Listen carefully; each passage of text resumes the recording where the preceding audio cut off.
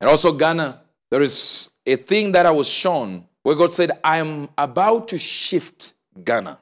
Not that it was evil, but there were mistakes that were made when I gave a plan to execute what should happen in Ghana. I chose a leader that was going to be better for the season for the people of Ghana. He said that man was my choice. But in the execution of it, there were mistakes that were done. And there was lack of support for the leader hmm. in fixing what I needed fixed. So I saw a man approaching the throne. As he was about to approach the throne, God said, Wait. There are two things I want you to do. One, two, three. These things, if you do, these three things, if you do them, you'll be the one to sit on the same seat. And he's supposed to be doing them within the next three months.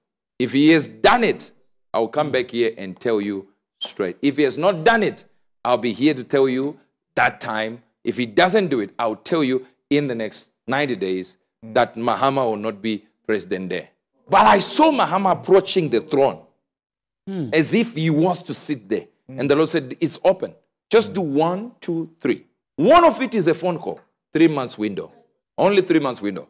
He does that phone call even if he ignores the two. That phone call is important. And as long as they, when they say you, there's a phone call that he's talking about, mm-hmm. you will know what it is.